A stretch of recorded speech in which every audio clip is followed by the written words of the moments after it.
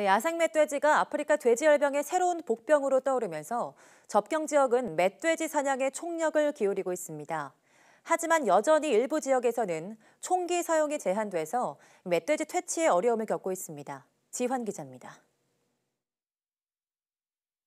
야간에 민통선 이북 지역에서 사살된 멧돼지입니다.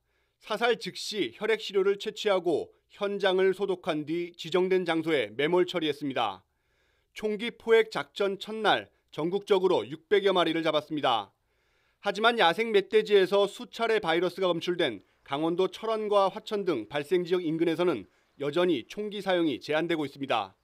사살하라는 명령이 안 떨어져 갖고 부대에서 아, 그래서 아. 일단 현장 확인만 한 거예요. 아마 환경부 쪽에서 군단 쪽으로 가는지 군단에서 어차피 이 군부는 지휘 체계니까 우리가 지시가 없으니까 발생 지역에 일단 울타리를 설치한 후 총기 포획을 시도할 예정. 하지만 그 사이 감염 야생 멧돼지 이동 반경이 더 넓어질 수 있다는 지적이 나옵니다.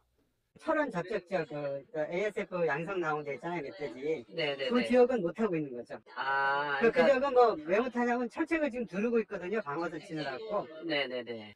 해당 지역에서는 일단 급한 대로 멧돼지 포획 틀 보급을 확대하고 있습니다. 멧돼지를 잡기 위한 포획 틀입니다. 전방 지역 그리고 민통선 안쪽에 설치를 하게 되는데요. 멧돼지를 먹이를 통해 유인한 후에 무게가 느껴지면 창문이 닫히게 됩니다. 자치단체가 제작해 군부대에 전달하고 있는데 추수가 끝나 멧돼지 먹잇감이 부족해지는 시기에 집중적으로 설치할 예정입니다. 그 산속이라든가 어, 그런 부분보다는 그 군부대 주변 지역에 기존에 어, 멧돼지들이 내려오던 지역들이 있, 있습니다. 그러니까 그런 지역에 갖다 놓고 총으로 쏘고 쇠로 된 틀을 깔고 아프리카 돼지열병 발병 한 달 접경 지역은 멧돼지와 전쟁을 치르고 있습니다. YTN 지환입니다.